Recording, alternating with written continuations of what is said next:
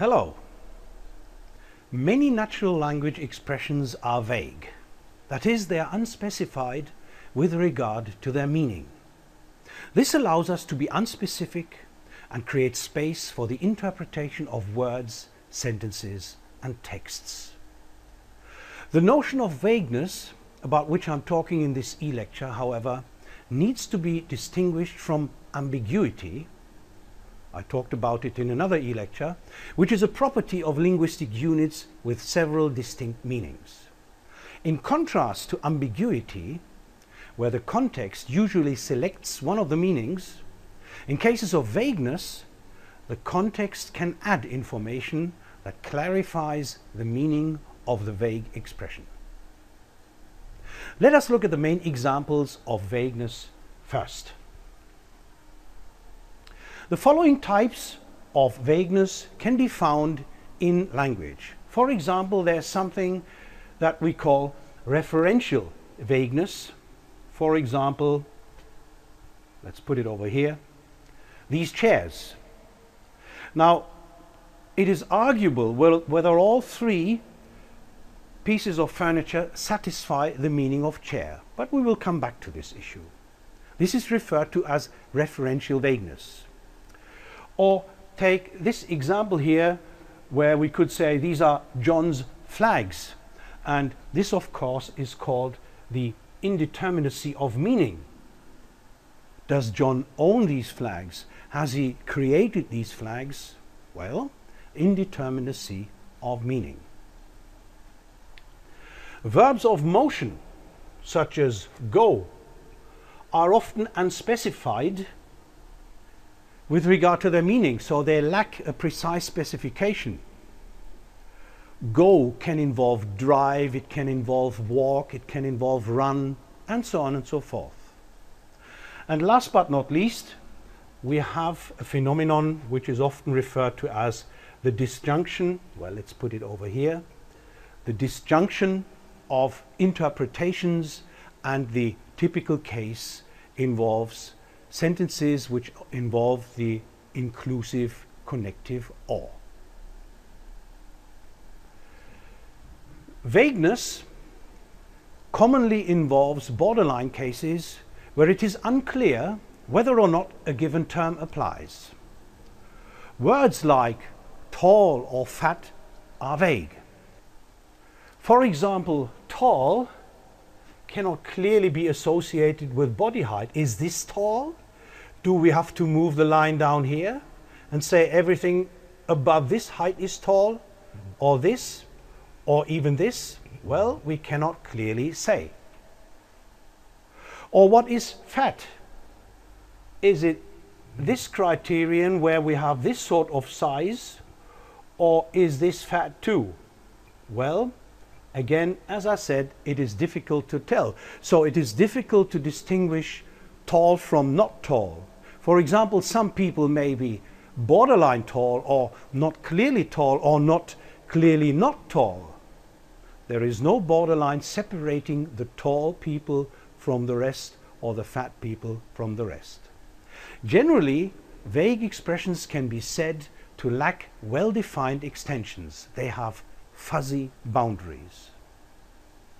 Furthermore, a number of terms are habitually used in a loose way. The core meaning of some terms is easily defined, but people habitually apply them in a loose way. For example, the notion of a circle has a clear definition which everyone can grasp. We can describe it mathematically. However, speakers tend to use the word circle very loosely in everyday language. Take this example here. The students stood in a circle round the teacher.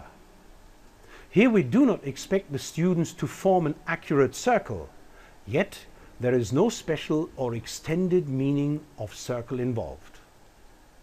A further problem concerns the distinction between vagueness and aspects of generality. It should be clear that vagueness has to be distinguished from speaking in general or overgeneralized terms. take two examples in a sentential context. Now, this is our sentential context. I saw something today. For example, we could say, I saw a bird today versus we saw an eagle today. Although bird gives less information than eagle, it is not more vague. It is just that bird denotes a more inclusive class. Similarly, someone saying, I will get by somehow, does not speak vaguely, but in overgeneral terms. The item somehow is not unspecified, rather it has the meaning in some unspecific way or manner. So, after this introduction, let us now look at the four types of vagueness I outlined earlier on in detail. Let us start with referential vagueness. Now, referential vagueness is a property of lexical items whose meaning is in principle clear enough, but for which it may be hard to decide whether or not they can be applied to certain objects. Here are two examples. What is the borderline between a city and a town? How do we distinguish hills from mountains? Well, you all know that especially in the case of hill versus mountain, your personal background plays an important role. Do you live near the sea, where you do not even have hills, or not? Well, I leave that decision up to you. Here is a second case, indeterminacy of meaning.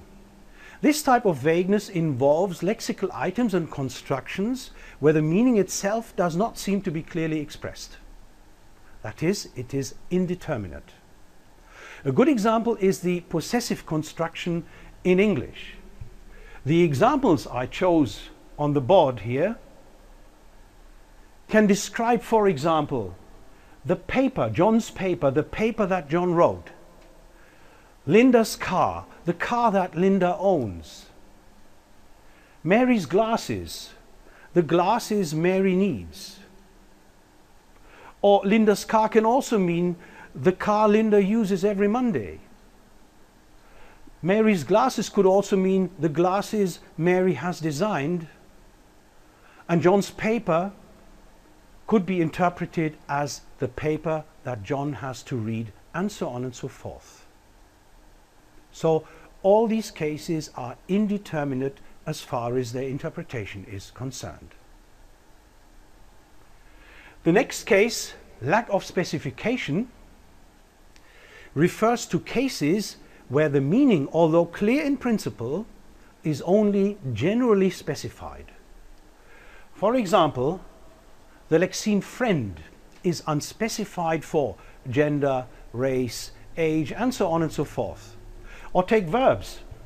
The meaning of an item such as go can clearly be specified.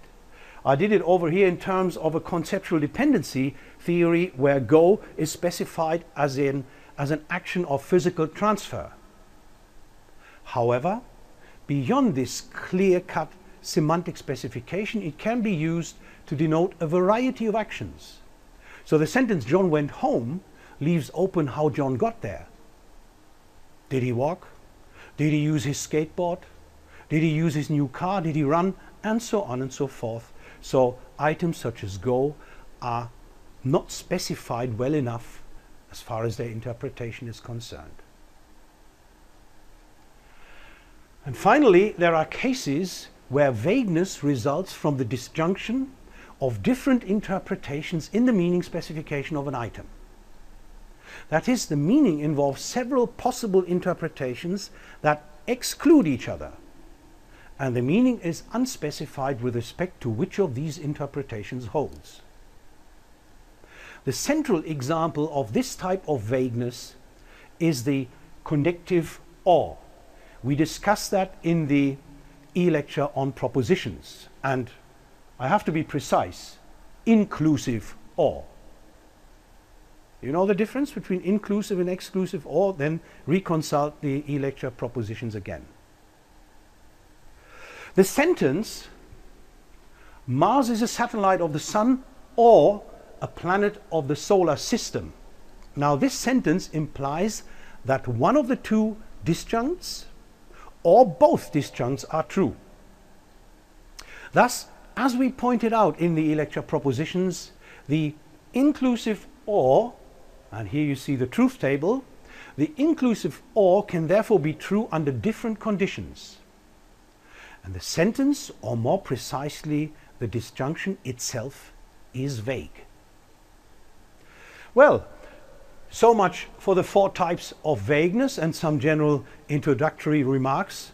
And of course, as far as ambiguity is concerned, presupposing that you have already attended the e-lecture on ambiguity. It is often difficult to decide whether a certain case of multiplicity of interpretations is an instance of ambiguity or vagueness. For this reason, several tests have been proposed upon which that decision can be based. These tests will be explained and applied in a follow-up e-lecture. So, see you there.